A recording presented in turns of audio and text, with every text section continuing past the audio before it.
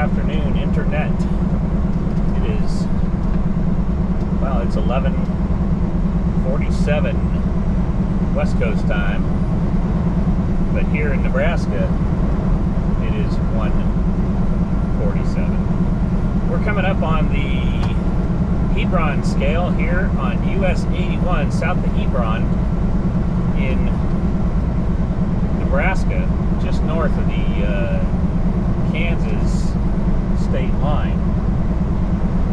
Now this scale services both the north and southbound side of the highway, as you'll see here in a minute. So you exit left. Pretty interesting scale. It's not open very often, but when it is, when it is, they're going to run you across the scale. That very rarely do I see them doing much in the way of activity, um, harassing people. But one time back in 2008, when I was hauling the windmill towers, the trailer that I had at the time had two flip axles and a neck extension, and it also stretched 20 feet. But with the stretch closed, we used to take this 81 to get back to Fargo, North Dakota. Um, and uh, my trailer is 66 foot long, all closed up. So this scale happened to be open, and the officer ran me in. Saw me going by, and he poked his head out the window, and he said, "Hey, how long is that trailer?" I said, "Well, it's 66 feet." He says, "You got a permit for it?" I said, "No."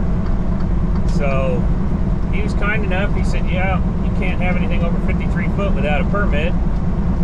And uh, so he told me to go up and stay at that truck stop up there in uh, Hebron. Uh, it's just a little hole-in-the-wall truck stop until I could get a permit to get on out of the state the rest of the way. So he's real nice about it. He didn't give me a ticket, nothing like that. So, at any rate, you can bet that every time I come back through there with my trailer, I would uh, make sure I had a permit for the 66 foot. Now, if I folded over the, because it had two flip axles, if I folded those up and the flip neck, then I'd be back down at 53 foot. But the $16 permit was just easier than having to do all that. Well, as you can see, this scale is closed down there on your right. But we'll just go ahead and do a drive-by here and stay in this left-hand lane, let you uh, enjoy the scenery as we go by.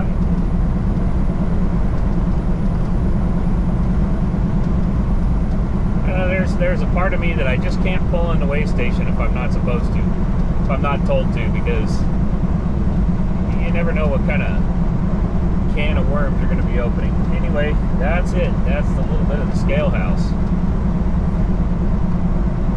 Well, sorry for the late video today. I had my windshield was uh, broken up pretty bad. It took about it only took about three days, and this thing looked like a from a rock chip. It looked like a road map. So I just got the new windshield put in this morning. Hopefully, you're getting a good uh, audio or a, a video there. All right, well, that's going to do it for this video. Hey, uh, you know all that stuff. Like, share, subscribe, give it a thumbs up.